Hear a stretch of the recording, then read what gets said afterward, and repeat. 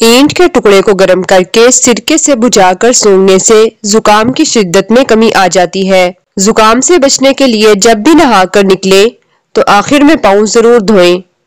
जुकाम रोकने के लिए बेसन का हलवा, बेसन के पकोड़े या सादा बेसन की चपाती खाएँ। दहकते कोयलों पर चीनी डालकर इसका धुआँ सूंघे, जुकाम की शिद्दत में कमी आ जाएगी। काले चने का शोरबा जुकाम रोकने में बड़ी मदद देता है। गंदम के आटे की भूसी पानी में पकाएँ और तीन चार उबाल आने के बाद इसमें चीनी डालकर इसे पिए, जुकाम रुक जाएगा। अगर मुसलसल छींके आ रही हो तो सर पर पानी डालें, ये टोटका आजमूदा है, छींके रुक जाती हैं।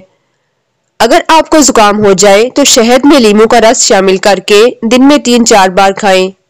ये अमल दो तीन दिन तक करें, जुकाम खत्म हो जाएगा। नजला और जुकाम खत्म करने के लिए नीम के ताज़ा पत्तों को पानी में डालकर जोश दिलाएँ और फिर छान लें।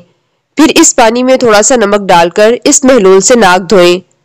ऐसे जैसे वज़ू करते वक्त नाक में पानी डालते हैं। चंद दफ़ा ऐसा करने से यकीनन अफाका होगा। प्याज के अरक को रुई में डुबोकर कुछ देर नाक पर रखें और ज़ोर ज़ोर से सांस लें तो जुकाम खत्म हो जाता है। अगर छेके ना रुक रही हो तो 6 ग्राम मेथी दाना कूटकर इसको पानी में पकाकर 10-15 दिन सुबह सवेरे पिए, आराम आ जाएगा।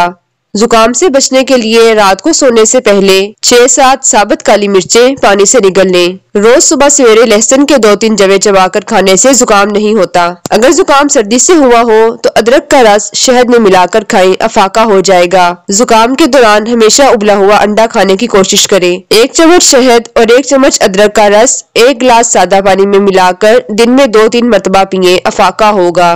फ्लू के दौरान लीमू का रस बकसरत पिए।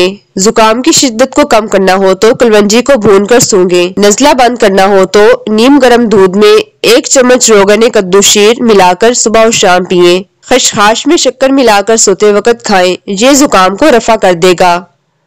लहसुन को पानी में उबालकर सर्दी, जुकाम और खांसी के मरीजों को पिलाएँ सब के लिए मुफीद है।